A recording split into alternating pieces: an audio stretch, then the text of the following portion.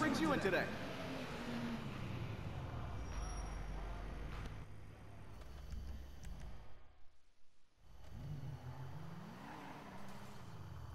Jared, move away from me.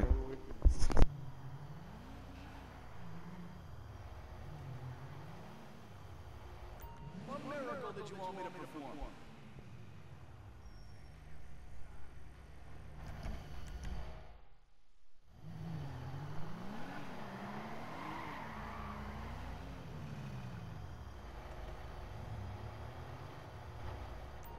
What's wrong with her now?